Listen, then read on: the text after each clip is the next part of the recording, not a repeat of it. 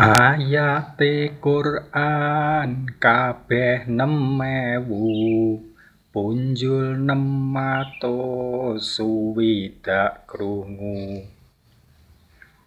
Kang sewu nerangake perintah sekei wajib perdulan sunah lan sewu nerangake larangan kang sewu nerangake janjian.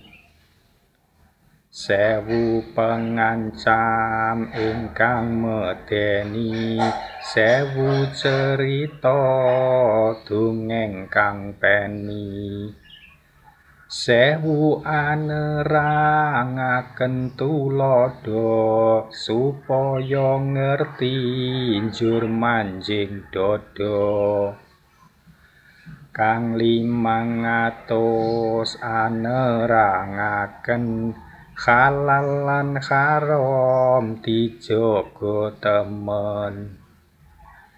Satus ing tahlil tasbih anutur supaya padha dentur tinutur.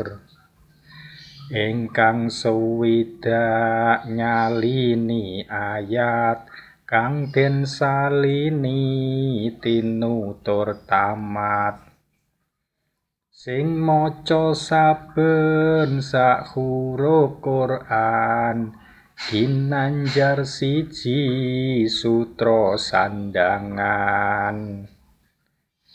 Besok nalika ana suwarga langgeng lan tetep jembar lan lega. Sing sapa wonge padha kepengin maca Quran kang luwih dingin